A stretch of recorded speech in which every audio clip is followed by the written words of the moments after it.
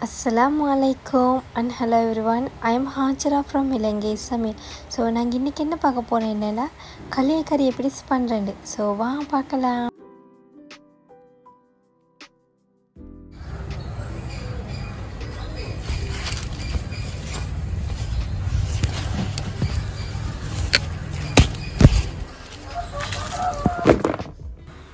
நான் களியக்கறி பண்ணதுக்கு ஃபஸ்ட்டுக்கு வாழைக்காய் கத்திரிக்காய் எடுத்திக்கேன் கத்திரிக்காய் ஒரு அஞ்சு வாழைக்காய் மூணு மாதிரி தான் எடுத்திக்கேன் ஸோ இப்போ நாங்கள் வாழைக்காய் கத்திரிக்காயெல்லாம் நல்லா வாஷ் பண்ணி எடுத்துக்கொள்ளணும்.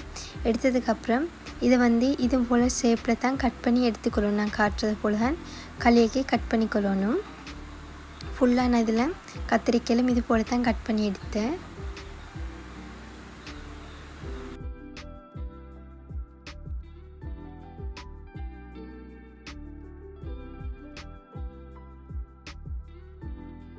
கத்திரிக்காயெல்லாம் ஒரு பவுலுக்கு ஆட் பண்ணிக்கோங்க.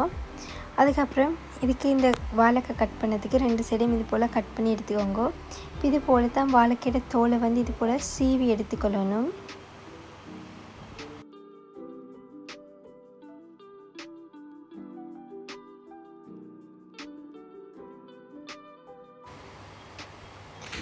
நான் மூணு வாழைக்காயும் இது போல் தான் தோலெல்லாம் சீவி எடுத்தேன். சீவி எடுத்ததுக்கப்புறம் இதை வந்து ஒரு ஒரு வாழைக்கே இது போல் ரெண்டு கட் பண்ணி எடுத்துக்கொள்ளணும். அதுக்கப்புறம் நல்லா குட்டியாகல கொஞ்சம் ஒரு கொஞ்சம் பெருசாக மாதிரி நான் காட்டுற சைஸில் மாதிரி நீங்கள் கட் பண்ணி எடுத்துக்கோங்களே வாழைக்காயில. இப்போ வாழைக்காயெல்லாம் கட் பண்ணதுக்கப்புறம் இதே ஒரு பவுலில் ஆட் பண்ணிக்கோங்க ஃபுல்லாக பவுலில் ஆட் பண்ணதுக்கப்புறம் இது கொஞ்சமாக வாழைக்கும் கத்திரிக்காய்க்கும் மஞ்சள் தூள் அடுத்தது உப்புத்தூள். இதே ஆட் பண்ணி ரெண்டுக்கும் இதை மிக்ஸ் பண்ணிக்கொள்ளணும்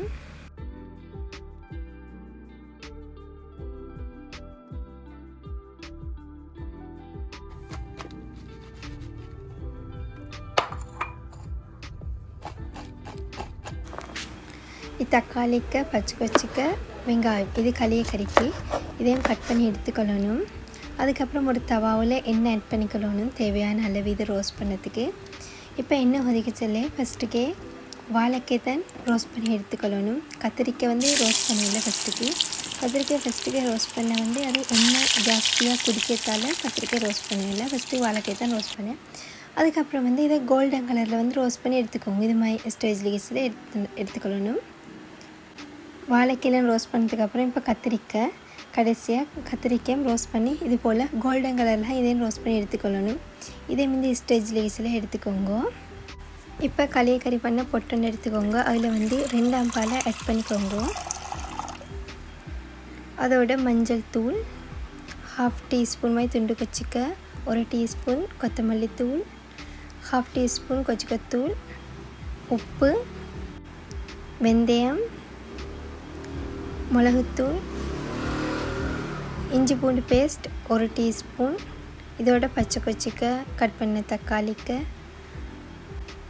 இதோட வெங்காயம் கட் பண்ண ஹாஃப் தான் கட் பண்ண முழுசாவில் ரொம்ப. அடுத்தது கறிவேப்பிலை. இப்போ இதை ஸ்டவ்வில் வச்சு இது போல் கொதிக்கணும் மீது பச்சை வாசம் கொஞ்சம் போகிறதுக்கு. அதுக்கப்புறம் இதோட இப்போ இது கொதிச்சுக்க வரிசலே இதோட நாங்கள் ரோஸ்ட் பண்ணி எடுத்த வாழைக்காய் அதை ஃபஸ்ட்டுக்கு இதோட ஆட் பண்ணிக்கொள்ளணும் இப்போ ஆட் பண்ணதுக்கப்புறம் கொஞ்சமாக கலந்து விட்டதுக்கப்புறம் இதோட அடுத்ததாக கத்திரிக்காய். அதையும் ஆட் பண்ணிக்கோங்க. அதை ஆட் பண்ணதுக்கப்புறம் நாங்கள் அந்த பால் கட்டிப்பால் எடுத்து வச்சுருந்தோமே அதை வந்து இதோட ஒரு கப் கட்டிப்பால் இதோட ஆட் பண்ணிக்கொள்ளணும். இப்போ எல்லாமே ஆட் பண்ணதுக்கப்புறம் இப்போது இது வந்து ஒரு கொதி எனக்கு கொதிக்க சொல்ல ஸ்டவ்லேருந்து எடுத்துக்கோங்க வேறு வைக்க வேணாம்.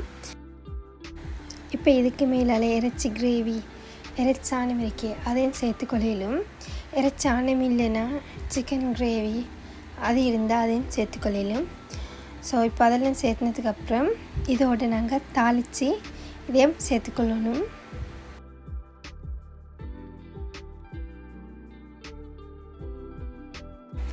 இந்த வீடியோ உங்களுக்கு பிடிச்சிருக்க நம்புகிறேன் ஸோ நீங்களும் ட்ரை பண்ணி பாருங்கள் அண்ட் கமெண்ட் பண்ணுங்கள் உங்களுக்கு பிடிச்சிருந்தால் லைக் பண்ணுங்கள் உங்கள் ஃப்ரெண்ட்ஸ் அண்ட் ஃபேமிலிக்கு ஷேர் பண்ணுங்கள் அண்ட் மறக்காமல் சப்ஸ்கிரைப் பண்ணுங்கள் டேக் கேர் பாய்